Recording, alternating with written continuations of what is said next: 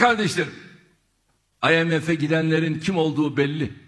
Bunlar işte CHP zihniyeti, diğerleri bunlar IMF'e gittiler. Biz ise iktidara geldiğimizde Türkiye'nin IMF'e olan borcu 23,5 milyar dolardı. IMF'e olan bu borcu biz kucağımızda bulduk. Bir taraftan dev yatırımlar yaparken bir yandan da bu borcu ödemiş olan bir iktidarız.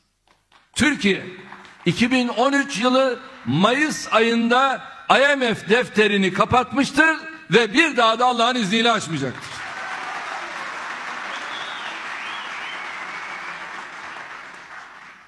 Bizi yeniden Afrika, Asya, Güney Amerika ülkeleri konumuna geriletecek böyle bir yolun sözünü dahi etmek Türkiye'ye ihanettir.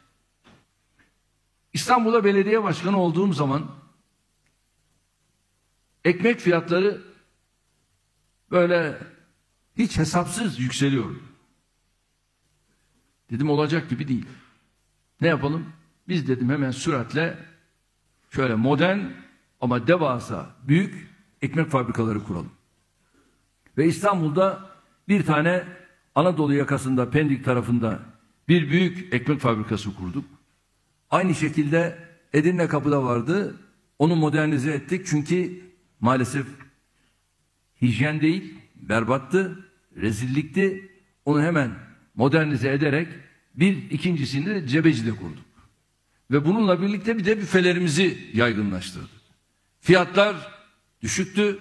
Tabii biz düşük fiyatla ekmekleri hem kalite hem de fiyatların düşük olmasıyla piyasaya ayar vermeye başladık. Çünkü vatandaşımıza ucuz, sağlıklı ürünler vermeye mecburuz. Türkiye kendi imkanları ve kabiliyetiyle böyle bir krizin üstesinden Allah'ın izniyle gelir.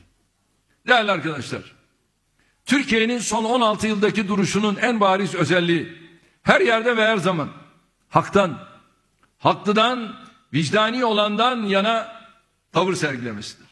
Suriye'de, Irak'ta, Libya'da haktan ve haklıdan yana olduk. Filistin'de, Kudüs'te haktan ve haklıdan yana olduk. Arakan'da, Türkistan'da, Kırım'da haktan ve haklıdan yana olduk. Balkanlarda, Kafkaslar'da, Afrika'da, Güney Amerika'da hep haktan ve haklıdan yana olduk. Hamdolsun bu duruşu sergileyebilecek imkana, cesarete, birliğe, beraberliğe, siyasi, diplomatik, askeri, ekonomik güce sahibiz.